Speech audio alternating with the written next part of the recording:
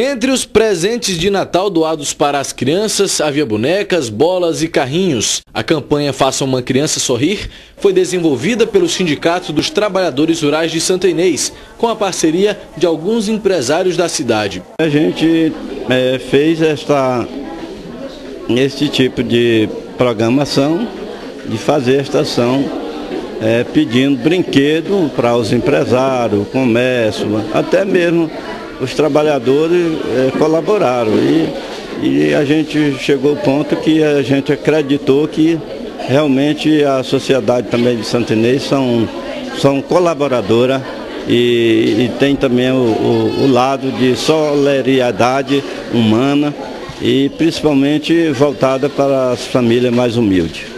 Foram entregues aproximadamente 300 brinquedos. A quantidade era de acordo com o número de filhos, por isso tinha gente levando mais de um brinquedo. Eu achei muito importante, chegou numa boa, numa boa hora, que eu sou o pai de cinco filhos, né? Então eu estava precisando mesmo e eu agradeço o sindicato, seu Fabrício, todos os empresários santinês. Tá levando aí quantos presentes? Estou levando cinco presentes, para é, três, é, três, é, duas meninas mulher e três homens. Foi muito bom porque deu oportunidade para muitas crianças que não têm brinquedos, né, adquirir. E também isso daí é uma alegria para todas as crianças, né, necessitadas, assim, que, não, que, não, que os pais não têm dinheiro. Isso é muito bom.